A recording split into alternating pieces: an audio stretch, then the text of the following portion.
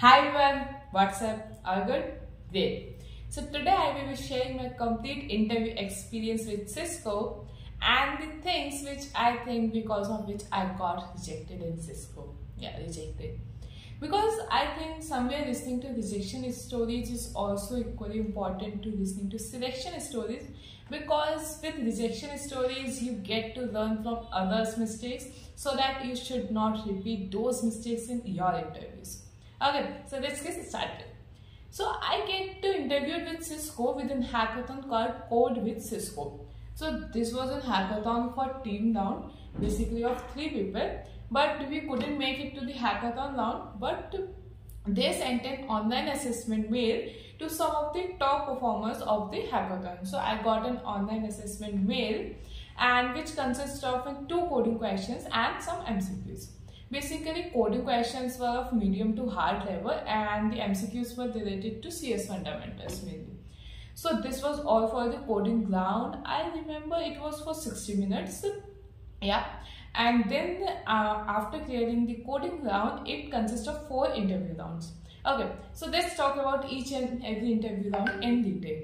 So I think they don't have any particular defined criteria for each interview round like whether this interview round is going to be completely technical or whether this interview round is completely going to be managerial or CS fundamentals. So, so I don't think they have that much defined criteria. But uh, because my second and third round was complete mix of all the things. But my first round was completely technical. But this was not the case for everyone. Because some of my friends have first round based on their resume only. Some of my friends have their first round based on CS fundamentals only so this was different for everyone. So my first round in my first round he asked me five DSA questions. Don't just get overwhelmed with this number. He asked me five DSA questions with code as well but the questions were very basic like height of a tree and finding a prime number. So these kind of questions, DSA questions he asked me. And then he shifted to CS fundamentals. He asked me an OSI model in detail, asked me to tell the function of each and every level, protocols of at, at a, protocols at every level in detail. So yeah, this was all for my first round of the interview. It was mainly technical and it uh, lasted around 50 to 55 minutes. Now let's talk about the second round. So after within one or two hours, I got the list that I am selected for the second round of interview.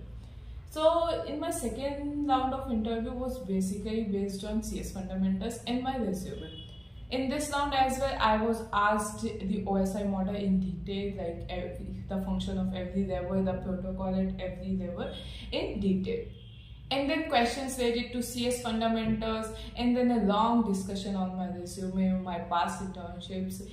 Uh, he, he then he, and then he asked me whether I've done any research work. Then I was trying to uh, relate it to my internship because my internship one of my internship was related to compilers and in this uh, i have done a lot of research on compilers because without doing this i was not able to contribute to their project so i was studying about that research work but he was not expecting to tell him the research work of an internship. He was expecting some different research work. So for this question i have to say no that i have not done any other research work and then he asked me for any real life problem for which there should be a solution. Like he was not asking the solution. He was not expecting any technical solution. He was just asking that whether you have faced any real life problem for which you think yeah this can be solved. I can solve this or someone else can solve this. And then he asked me about my final year project. Yeah so this was all for the second round of interview. This also lasted around 45 to 50 minutes and then the, all these interview rounds were completed in the afternoon. And then the evening i got the this that yeah i'm selected for the third round of the interview. And the third round was scheduled for the next day. Now the third round of interview was completely based on cs fundamentals my resume and managerial questions as well so first of all, he asked me questions related to CS fundamentals like routers, switches, IP addresses, difference between routers and switches. So these kind of questions were there related to CS fundamentals. And then he asked me questions related to my project and internships. And uh, then he asked me some managerial questions like uh, what uh, what do you know about Cisco? Which product of Cisco do you like? Why do you like that product? And why where do you see yourself in five years? Why you want to join an IT industry? Why you want to join a networking company? Basically, he wanted to know my passion about the networking. That why I want to join networking company. Yeah, Cisco is a networking company. So yeah, this was all for the third round of the interview. This also lasted around 40 to 45 minutes. And within two hours, I got the this that I am rejected. Yeah. So let's first just talk about if I got selected in what will be the further process. So after the third round of interview, there is just an ETI Connect round for 10 to 15 minutes in which they will ask you questions like whether you are comfortable with relocating and whether you are available for six month internship or not. So these kind of questions were there in the fourth round of interview. This will be around uh, only 10 to 15 minutes. So this was all the whole process for in getting interviewed with Cisco. Now the main point comes, why I got rejected. So there are some points which I think becomes the cause of my rejection. So let's discuss those.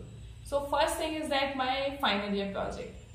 As he asked me about final year project, so when I was telling him about my final year project, he didn't seem satisfied with my answer.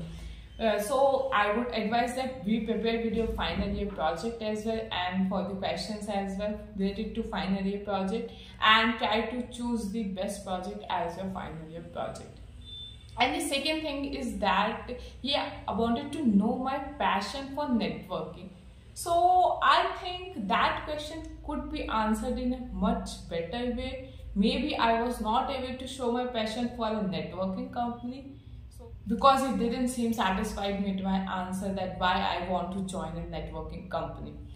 And the third thing which I think is that my internship related to compilers because when he was asking about my research work and I was telling about my research and compilers, he didn't seem satisfied. He was not interested in compilers and also in my both interview rounds, no, he just asked me what I have done compilers and then don't ask any questions on my that internship.